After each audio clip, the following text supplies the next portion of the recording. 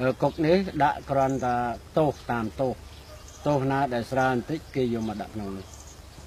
អឺហើយទោសដែលគេយកទៅសម្លាប់គឺអត់សម្លាប់នៅកន្លែងនេះទេនៅខាងព្រៃលិចតាមកន្លែងនេះជាក់ដៃបាទគេហ្នឹងហើយគុកកន្លែងនេះនាំមកអ្នកដែលទោសទៅជាប់គុកគឺសួរចម្លើយបាទគាត់ទៅចម្លើយហ្នឹងឲ្យអស់ក្នុងក្រុមណាឧទាហរណ៍ដូចជាក្រុមខ្ញុំអញ្ចឹង មានពាក់ព័ន្ធនឹងរឿងអាទុច្ចរិតហ្នឹងគឺប្រហែលអ្នក10អ្នកអញ្ចឹងខ្ញុំអាចឆ្លើយហើយដល់ឆ្លើយអញ្ចឹងវាត្រូវជ្រាវទាំង10អ្នកហ្នឹងយកមកចូលអញ្ចឹងឃុំហើយអឺអ្នកដែលត្រូវវៃចោលយកមកបដាអញ្ចឹងមកគឺអត់ចូលកន្លែងនេះទេ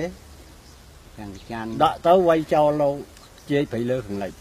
ចាំមកទីតាំងនេះគ្រាន់តែជាគុកមួយដើម្បីអឺសួរចម្លើយបាទត្រៀមសួរចម្លើយសួរចម្លើយបាទគេទៅយកទៅវាយយកទៅសម្លាប់ទៅកន្លែងទីបាទបាទបាទហើយកាលណាដែលសួរចម្លើយចាប់បានក្នុងបណ្ដាញនឹងអស់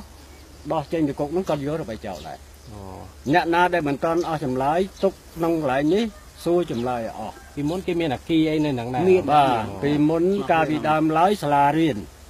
តែដល់ចាប់ពីសាលារៀនមកពលពតគឺគុកបាទ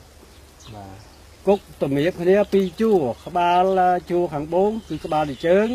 ជួរខាងជើងគឺក្បាលទៅទៅជើងចេះ ហើយដាក់ខ្នោះ អឺហើយព្រៀង ដៃគេ ព្រៀង នៅមាន ដែលព្រៀងដាក់លំមួកគឺចុងខាងកើតមួយចុងខាងលិចមួយ